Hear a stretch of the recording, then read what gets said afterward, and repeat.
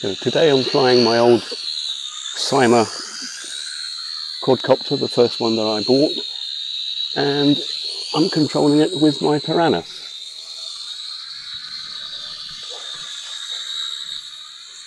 I've installed the multi-protocol module into my transmitter and it works really well.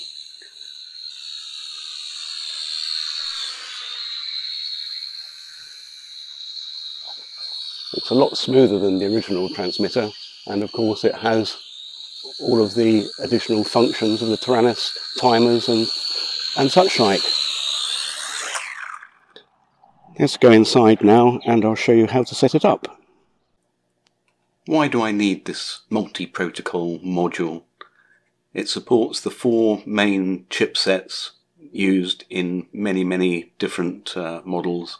What that means is that we can bind and control many, many different models and not have to have a plethora of transmitters around and after a while you forget which transmitter went with which model, or at least I do. For an upcoming project, I've bought this spare part, which is the receiver module, including two servos um, out of a WLtoys model, so I can control that and bind it to the multi-protocol module. Let's move on now and I'll describe more about the module itself. The module has two main modes, a PPM mode and a serial mode. PPM really only used with transmitters that don't support OpenTX and you can select the protocol that you wish by this little dial on the back here. There's a, a list of the protocols supported, but as it says here, incomplete and expanding. One of the things is to download and install the latest firmware, and I'll show you a little later how to do that. Suffice it to say, it's compatible with pretty much any radio that has this type of, of bay, clearly the FrSky, the Taranis that I use, and indeed it will even work with much older radios. This is my venerable X388JR, but it still has the module bay on the back, and I've used this successfully uh, with other other modules here. Guess I'm not allowed to uh, pronounce the name of this particular transmitter module. Moving on, for our use with OpenTX, we want to set up in the in the serial mode. That's with the dial in the zero position. It's difficult to tell which end is which of this little switch. In fact, it's easier to take this cover off and then you can see exactly I've marked the pointer position on the dial. Not that I need to change this because it's always going to be in zero for serial mode. It's also worthwhile checking the firmware of your transmitter. You need to install the multi-protocol version for it to work. We can take a look now on the internet at the GitHub page where you can find the firmware to download and we'll go through the procedure of updating it. Now you may have had some bad experiences when flashing things. In this case it's been made an awful lot easier. On GitHub there is a dedicated flash multi tool. Here is the page with a description of it and what it looks like. Go ahead and download that. When you open the window up, you even get the option here to get the latest firmware. So we simply click on the link there. It will open the releases page. You'll have to scroll down to find the version that suits your configuration. For me, as I'm using OpenTX, we look down here until we see the correct file. For me, this is going to be OpenTX, aileron, elevator, throttle and rudder configuration, and inverted. This is the default setting for me. So let's go ahead and download that.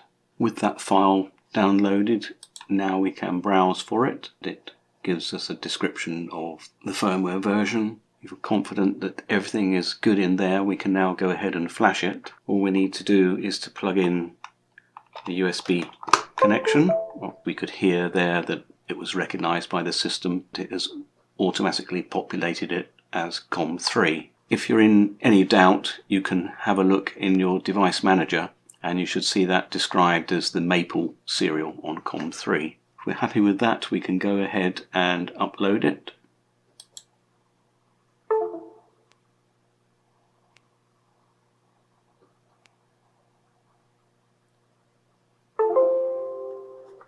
Successfully updated. As you can see, it's a straightforward and painless process. With that now updated, we can put the module into the transmitter and I'll show you how to set it up for various receivers. The transmitter setup is quite straightforward as well. Just go into the model setup, turn off the internal RF module, we won't be using that. For the external RF module we select multi. When you've upgraded your firmware for the Taranis, including the multi-protocol part, it will then show the multi-protocol option here. Next you can select your model. Obviously I was flying my Cyma earlier on and strangely it's the standard. If we go into here there's actually an X5C option but that doesn't work for me. Mine's a, a, an older version I believe. This is one of the things with the multi-protocol firmwares you'll have to do some experimentation and googling and maybe even take a model apart to find out what unit is inside it and which of these options are going to work. There's also trial and error.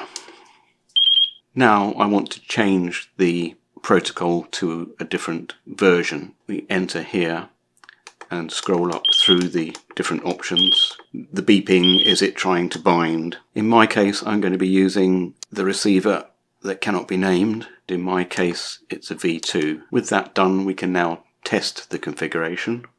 Turning the transmitter on, we can see there that it is now bound automatically. There's my aileron control. Very simple once you know what the actual settings are going to be. Sometimes though it becomes a little bit more of a challenge if you remember this little board that I mentioned, this is a WL Toys F949 module. Strangely though, set up as a WLtoys in the multi-protocol, it doesn't work. It turns out for some bizarre reason that this is actually set up as a FlySky standard. If I now connect that up, go down to bind, See the light there is now flashing. Now that it's bound, it's gone solid. And there are the little servos moving. I discovered this by a Google search for the board name and just used the word protocol and it informed me that it has to be set up as the FlySky. No idea why. Interesting though. Finally, it even has an option for my P38.